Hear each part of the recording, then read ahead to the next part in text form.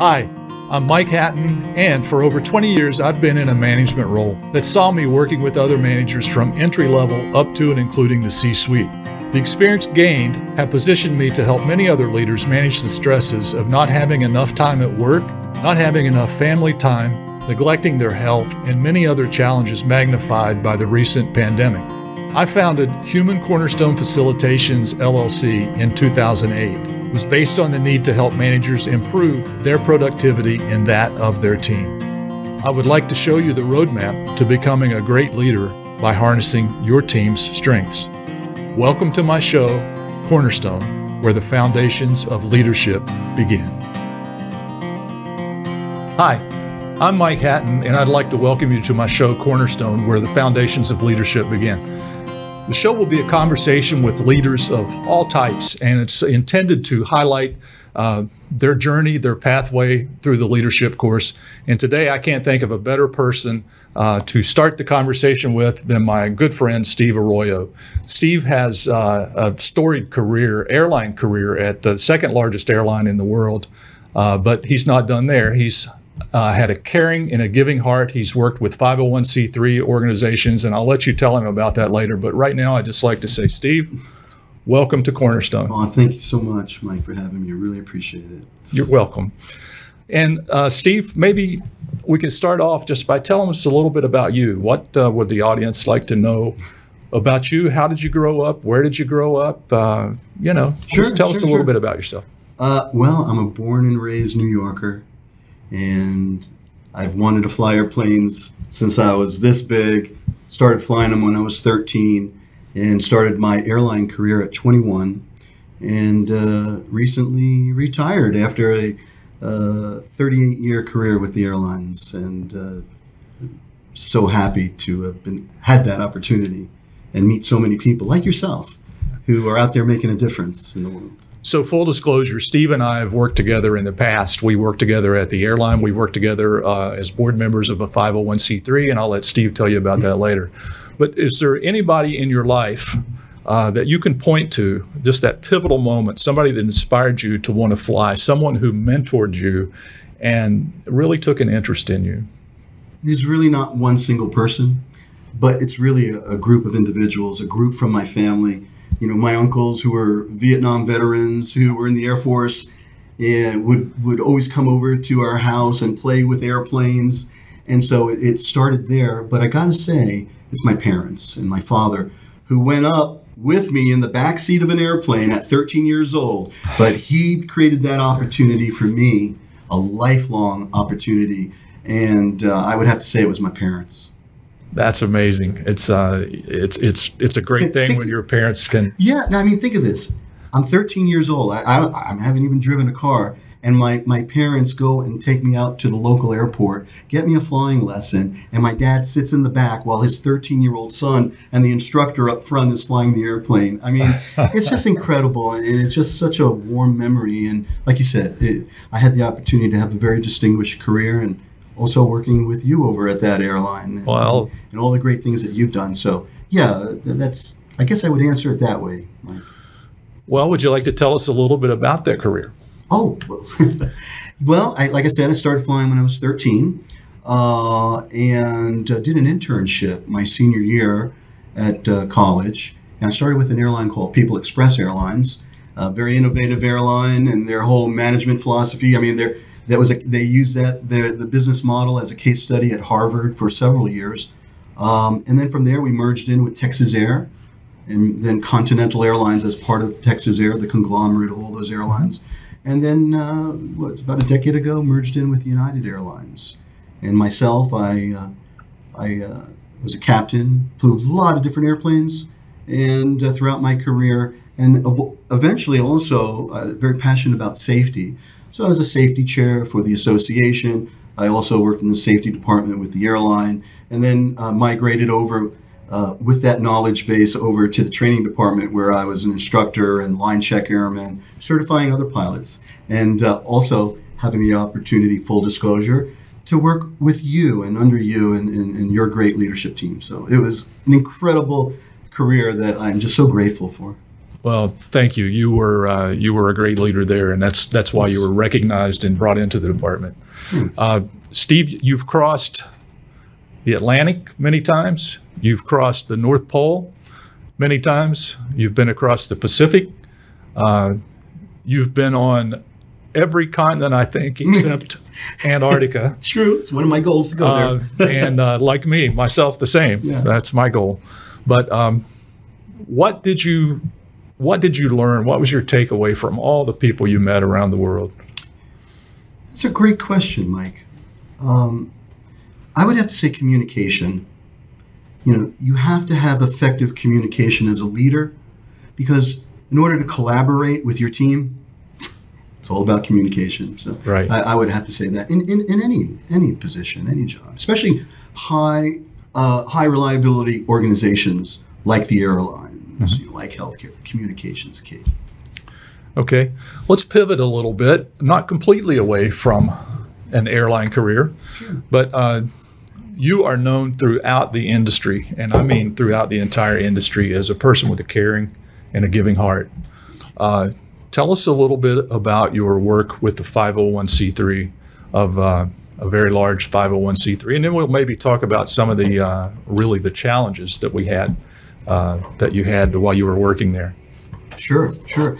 Uh, well, you know, the airline that we were with, um, uh, there was an organization that was created, uh, like you said, the nonprofit that was created to help fellow employees, 100,000 fellow employees, and called the United We Care Employee Relief Fund, a multi-million dollar fund. And uh, so I, uh, I was asked to be on the board, and uh, I eventually became the vice chairman, was the chair of the marketing and fundraising committee, was in charge of several global campaigns. And uh, during my tenure, during our tenure, you know, the organization went from just under a million to a seven million dollar organization, helping employees all over the planet, all over the globe, and uh, really making a difference. And, and that's exactly why I wanted to be involved because I wanted to make a difference in helping others. And, and what a great opportunity that was. And you know. We, we did a lot of great things, not just here in the U.S., but all over, all over the world. Speaking of the U.S. and the challenges, there was uh, all a little storm uh, that happened to be uh, actually a very large storm uh, in Houston, and we went from pretty much fully funded to all of a sudden having a huge need for funding fast and uh, to help people who were at the uh, uh, the worst point in their lives. You want to talk a little bit about some of the unique uh, solutions you came up with? You, you, yes, I worked on that, but you amazed me with some of the things you come up to uh, to raise that uh, the funds we needed to help those employees. Well, thanks, Mike. And and when I say employees, I'm really talking about our family members. We exactly- we felt like a family. That was exactly it. I mean, this was about helping our own, helping our family at the airline. And uh, gosh, what a great opportunity it was to do that. And, and you, know, you talk about the hurricanes that hit not only here in Texas, but in Puerto Rico Yes. within, like, what was it, a two week period. Um, but it was the ability to pivot, the ability to communicate. And what I loved about our board and the culture that we created was to have an active board you know, not just showing up, but being active. And uh, I remember flying down to Houston. I, I you know, I, I flew the Boeing 777. I was captain on that for for a decade, and we did a few days right after a relief mission. And we weren't even certified yet to bring passengers back. We were going, like you just said, to take care of our family. I mean, we were bringing in hundreds of thousands of pounds of cargo and, and humanitarian aid, but um, what really struck me was I was in the jetway and just seeing all these fellow employees getting on board. And I spoke with this one family, family of four, and the dad was just, you know, thank you so much. Thank you for what you're doing. Like, of course. And he shared a photo with me and he gave me permission to share his story back then. He literally was on the rooftop of his home with his with his his grandson, his children, his wife, and on, on the phone, on the radio, directing people who are on boats through his local neighborhood. And he was just so thankful for what we were able to do as you know fellow employees. And it's that it's really that inspiration. I, I know it inspires you, it inspires me, because when it becomes real like that, it's just it's so moving and i really enjoy doing that and, and the united we care employee relief fund did exactly that on on so many levels you know it, it was truly humanitarian and uh, you know i was just an honor to have served for four years and to learn so much and uh, and and to have you on the you were on the board as well mike and, and you did some great things with some of our global campaigns and uh, so yeah I uh, I really enjoyed my time there. I learned a lot. Well, thank you, and so did I, and I learned it mostly from you. Uh, I always like to give credit uh, when I talk about this funding to uh, a mentor of mine. Actually, he's uh, local here in the Dallas area. His name's Randall Reed. He owns Randall Reed Ford, several dealerships. Uh, I approached him and asked him if he had room in each of his the cars that he sold in Houston at his dealerships there uh, for a certain amount of money. And uh, he told me, he said, no, he said, I, I don't have room for that. But I do have room for double that. I remember and, that. and the uh, that would just blew me away. And Yeah. the, the generosity that uh, everybody in the community showed was really incredible there. You know, we had an, a fellow board member at the United We Care Employee Relief Fund, uh, military background, you know, F 16 strike commander, on and on, does pro- prolific philanthropic work, which is why he was on the board. And uh, they had used uh, his home down in the Keys. His the eye of the storm went right over his home, but heavily involved. And and uh, FEMA they were headquartered in his house because it's the only house that withstood withstood the storm. But two weeks later, he's calling me on the phone, and you know all the work that we've done, and asking, "Hey, Steve, we've got some boots on the ground on the western portion of Puerto Rico." My background, I'm, I, I am Puerto Rican. My father was born and raised there, and I was like, absolutely, you know, called in other friends, and before you know it, with these non-government uh, organizations, they're flying helicopters with food up to the mountaintops where people have been isolated, you know, for days, bringing in formula, food, water. And so, to your to the point to your question, it's those individual efforts and coordinating those individual efforts, like fundraising here in Texas with your buddy, you know, coordinating with Bob and his connections. It's all about interconnectivity and, and, and leveraging those connections, you know, and and and, and making it happen.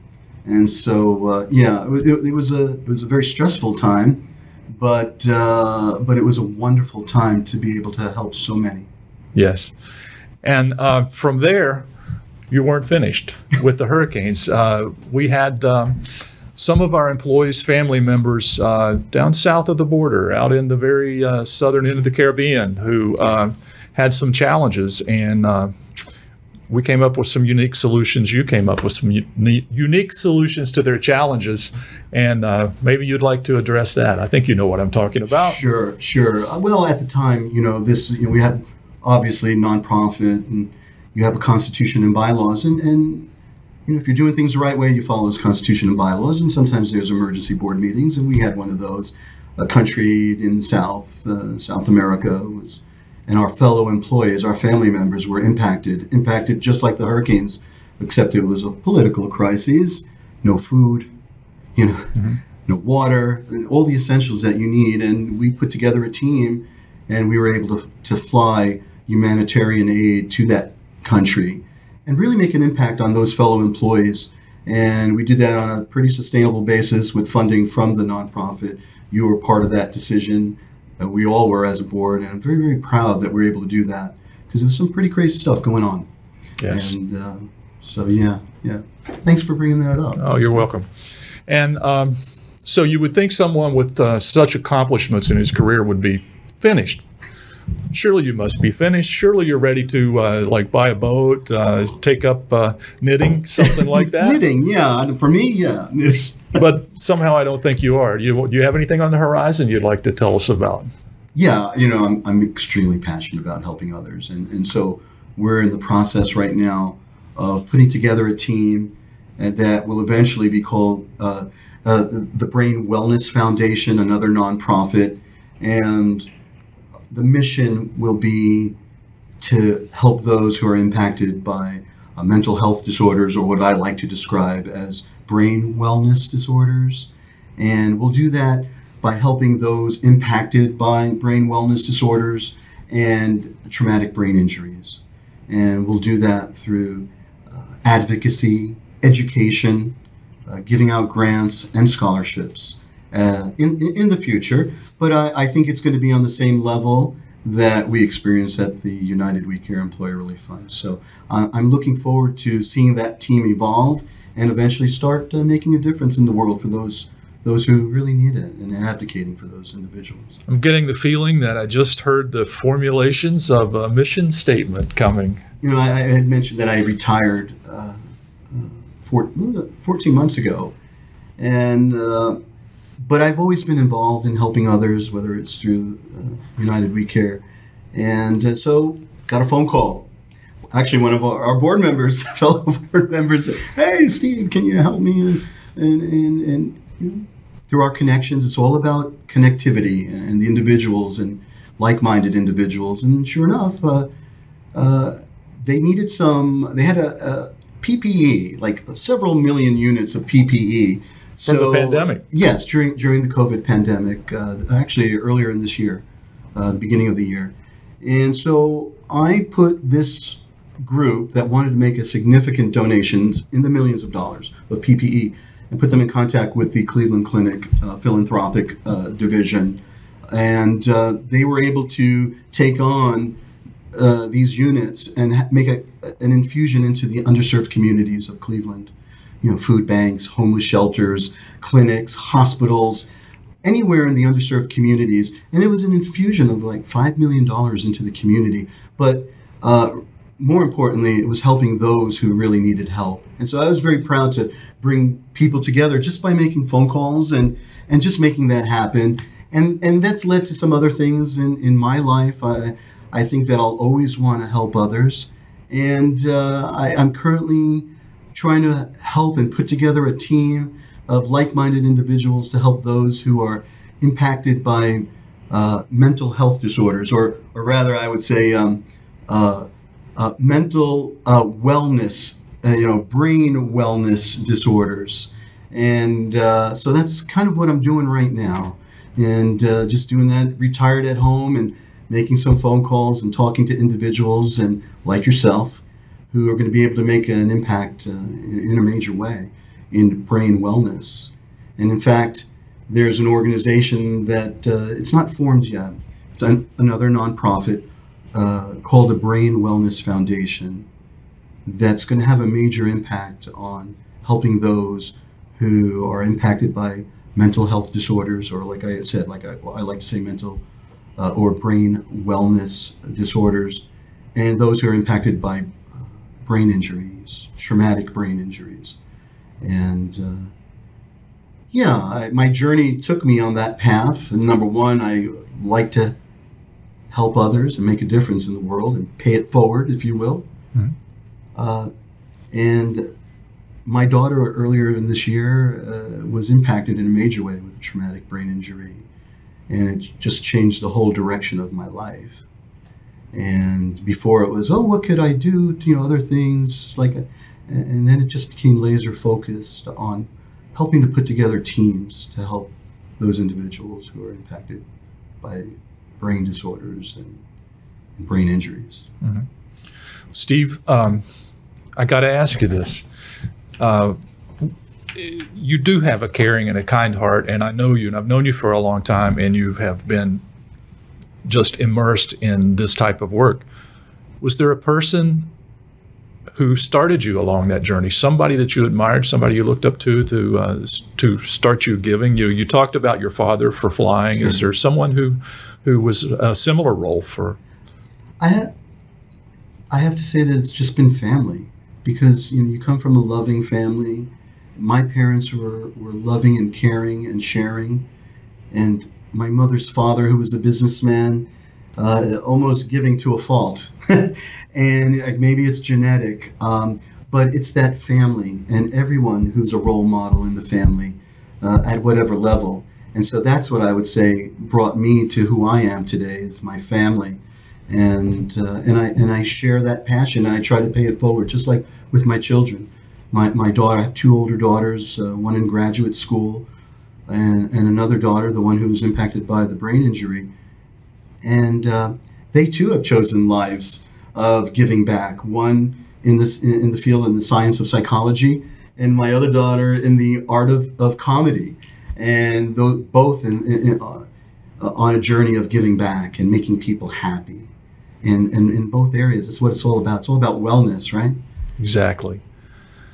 Well, as we start to wrap uh, the show up for the day, uh, if there's anything else you'd like to bring up, anything else you'd like to talk about, this is your opportunity to uh, take as much time as you want, and you can look right into that camera and uh, tell us anything you'd like to uh, like to talk about. Well, thanks, Mike. Uh, you know, I, I, was kind of alluding towards what's going on in, in, in our country and the world with with um, mental health disorders, brain wellness disorders, and there's some cutting edge technologies out there, and I, I, I that I never knew about, and and that my passion is to is share share that information with others, others who may not know, may not have the resources. And our country, the world, with the technologies that are out there right now, I mean, with the type of diagnostic tools that are out there, with the type of therapies that are cutting edge, you know, too many times in our country, people are diagnosed as bipolar and given a, a you know, oh, this is the take this six medicines and there you go. And oh, you're not feel you're feeling uh, more depressed this week. Take more of this one. You have a lot of anxiety. Take less of that one and more of this. And it's a cocktail that really isn't sustainable for some individuals because it could be a chemical imbalance and it could also be a physical imbalance. And that's something that we discovered after you know, our, our daughter, and she, she gave full permission to talk about her journey, and I think it should be shared. Uh, she had a medical re- uh, a medication reaction, went into a seizure for nine and a half hours, um, a status epilepticus event, a refractory status epilepticus event. She was uh, in ICU for for three days, uh, excuse me, for a week, and had a ten percent chance of survival. She had a great medical team that communicated exactly what they needed to do to save her life and uh, but she was very very ill and recovered miraculously. And she was in hospital for for two months. And by the way she's doing incredible right now but we in this country need to change the mindset. We need to change the legislation. We need to get together all on the same page and talk about creating legislation that where insurance companies will pay for the diagnostic tools. Like, for instance, CAT scans are all over the world. But what about having a CAT scan that uses the software that's called a utilizing a normalized database so that then they could look at not just a snapshot of the brain, an MRI, a CAT scan, but are actually looking at active blood flow. And in the case of our daughter, they were able, after she re, you know, recovered from two months in the hospital and was ready to go in for this diagnostic tool, which will be cutting edge in the United States in the next five to 10 years, if not the world, they're actually able to look at her brain. And we saw it. We sat with the neurologist, one of the leading neurologists in the country, and they said, Look, there, there's no evidence of bipolar. She was diagnosed at 18. They don't diagnose bipolarism in, in adolescence. And they said, There's no ring of fire, a reduction of blood flow in that region of the brain. But what she does have is a reduction of blood flow in other areas from the injuries that she sustained as an adolescent, you know, soccer concussion, getting hit playing around. And, and, and, and she was told, and we were told, she actually has an 80 to 90% probability of a 100% recovery. As a parent, to hear that after you're thinking your child for the rest of their lives has, you have to manage this mental health disorder, which is really a brain wellness disorder. In her case, it was physical. And there are therapies out there that can increase blood flow to those regions. I'm not taking anything away from those who have a chemical imbalance. But by utilizing the scan, then the whole team of doctors, the whole healthcare team can look at and say, no, this, per- this person has a chemical imbalance, and they can effectively manage that patient. But if you don't have a chemical imbalance and it was because of a physical injury, well, then you could do something like hyperbolic chambers. It costs a lot of money. Let's change that. But uh, you can also do another therapy, which our daughter is currently doing, called photobiomodulation, infrared light, that you utilize over several months. It's been a, it's it's FDA approved. Uh, they've utilized the, this therapy a, a, on an evidence-based study with Iraqi war veterans, with the, the doctor I was I was mentioning, uh, and another doctor from Harvard University, and it's it changed the lives of those veterans who came back. They had they came from a normalized database, and uh, and they they had improvised were parties to improvise explosive devices out in the field of war. Came back bipolar. Came back having severe anxiety, severe depression, wanting to you know, hurt themselves. And uh, through the study and through photobiomodulation, they changed their lives to where they were off the medicines or dramatically reduce the amount of medicines. It's an epidemic out there, but there are there are resources that are going to be cutting edge and it's it's my mission to spread the word. It's my mission for those who may not have have have the resources like we did in our family. Our daughter's going to make a full recovery. It's amazing, and especially since she uh, started the photobiomodulation, I see changes every day in executive function. She's a comedian. She's done commercials on, on, on you know on, on, TV. She's she's a brilliant. You know, both my daughters are brilliant. But now as a parent, I see the opportunities that we knew she had that I thought she had, and we all as a family had lost. And she has a bright future in front of her. And why can't we do that for others in this country and in the world? We need to get the word out there. And uh, that's my mission. That's what I want to do. And with people like you, with and, and surrounding myself with like-minded individuals, I truly believe we're going to be able to do that. And and just coming here and spreading the word, I can't thank you enough uh, for allowing me to do that. It's very personal, but uh, together, all of us can can can change the world and and create uh, brain wellness for everyone. And uh, so thank you so much. I really appreciate it. Mike. Steve, you're very welcome. It's my pleasure to uh, give you the opportunity to do that. And um, I'd like to thank you for coming and being on the show. And I would like to thank you for watching the show. Uh, if anyone has an interest in photobiomodulation, or it's commonly called LED light therapy or low level light therapy, it goes by several different names. Uh, you can contact me at thegrowthfacilitator.com. That's my company, uh, where I work with uh, leaders, leadership, building teams, uh, doing coaching, mentoring, interview counseling, things like that. But uh, you can contact with me there, and I will put you in touch with the owner of uh, the light therapy company. so if you have a problem and you need some help, call me. And if you'd like to work with me about some of the other things in leadership. Maybe you feel like uh, you don't have enough time at work. You have the stresses related to the pandemic. You feel like you're neglecting your family. You feel like your team at work feels like you're neglecting them. Uh, contact me, thegrowthfacilitator.com. You can email me directly at mike at thegrowthfacilitator.com. So thanks again for watching. And uh, the show is Cornerstone, and we'll talk to you the next time. I want to thank you for listening today. I hope you enjoyed the show and found something of value to help with the challenges you face as a leader. Please feel free to share this show with your friends on social media and don't forget to visit my website, thegrowthfacilitator.com. And while you're there, book a free call with me. We'll see you next time on Cornerstone.